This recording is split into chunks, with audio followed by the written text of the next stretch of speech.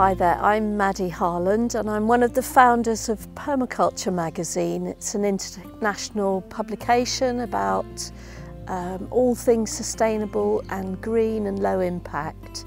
And I'm sitting in my no-dig vegetable garden, which is really near the house. So in permaculture design terms, it's zone one. So we started this vegetable garden ooh, a long time ago, about 25 years ago, when we first got the garden extension. Where I'm sitting was an arable field. It had no soil life whatsoever. And so our first um, thought was we want to restore this as a biodiverse wildlife habitat.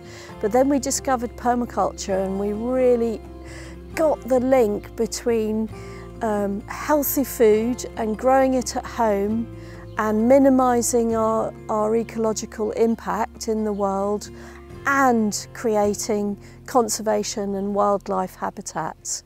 So we, we do love our companion planting in a way, the whole garden is the companion to the vegetable patch. There isn't a sort of separation of this is our ornamental garden or this is our wildlife garden and these are our veggies. We, we like to blend and have as much edge as possible. And, and the reasons for this is because we want wildlife in, in the garden, not only for the pleasure, but also for the ped, predator pest control balance. But one of the really simple things that you can do is just grow pot marigold at the edge of uh, a bed to bring in beneficial insects. And this all started with just a few seeds a few years ago. They go to seed and, and then they'll, they'll seed. We transplant them to places where we want them, usually on the, on the edges. They add colour and they're just a really good companion plant for veggies. So the idea of this garden was always that it would be no dig, that we would always use a lot of mulch to not have bare soil, cover the soil as much as we could um, to mimic natural principles and, and to grow completely organic, fresh veg for as much of the year as we possibly can. So this is our overhanging bean uh, structure. The great thing about it is the beans hang down so you don't have to search for them and it means that you pick every bean that's available so that the plant keeps growing as long as the season lasts. And it also has another advantage that underneath it you can grow things like salads that in the height of summer tend to bolt. Um, so once these beans are up and over this arch, it will cast more shade and that will hopefully prevent some of the difficulties with bolting crops. We do grow, tend to grow in, in rows. It just makes it much easier to hand hoe. Um, and we do use our own garden compost. So I'm looking at the bed in front of me just here and I, I can see that I've got some volunteer tomato seedlings from last year which you know would not grow true but they're easy enough to hoe out between the leeks. So one of the themes of this garden is thinking about how you can not only grow crops on the horizontal, so here I would say that these courgettes are horizontal, but also what can I fit in on the vertical to create structure and interest and contrast in the garden. So here this little guild is a mixture of some self-seeded flowers at the front, poppy and marigold once again, two different types of courgette and then a couple of very large sunflowers which we'll really enjoy when they come into full flower in a few weeks. To be quite honest, now um, in year 25 or so of this garden, we have very, very few slugs because we have a lot of slow worms and birds, we have thrushes in the garden that eat the snail, and, and we also have toads and frogs that love the habitat of the wildflower meadow and the, and the long grasses. It wasn't like this at the beginning, eh, that we were plagued with slugs until we got our ponds and our habitats established. So this is how we like to grow our squashes uh, in this bed for the whole of spring until about two weeks ago were broad beans and we've cropped the broad, broad beans, taken them out, but at the same time we start off squash plants uh, as the broad beans are maturing. So the idea of this bed is to stack in space and time.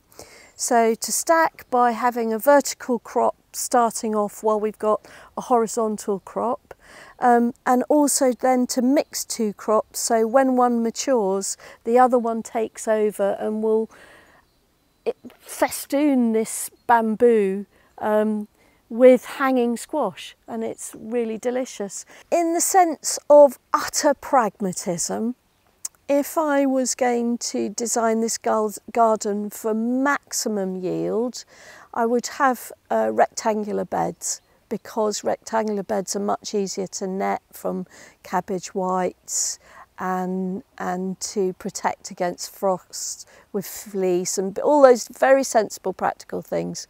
But when we started this garden, we, we actually were given these railway sleepers, uh, which incidentally we have lined with, with um, a heavy duty plastic because the railway sleepers can leach um, tar into, into beds, which is carcinogenic. And at that time, the easiest way to lay them out was to not cut them, so to lay them out in triangles.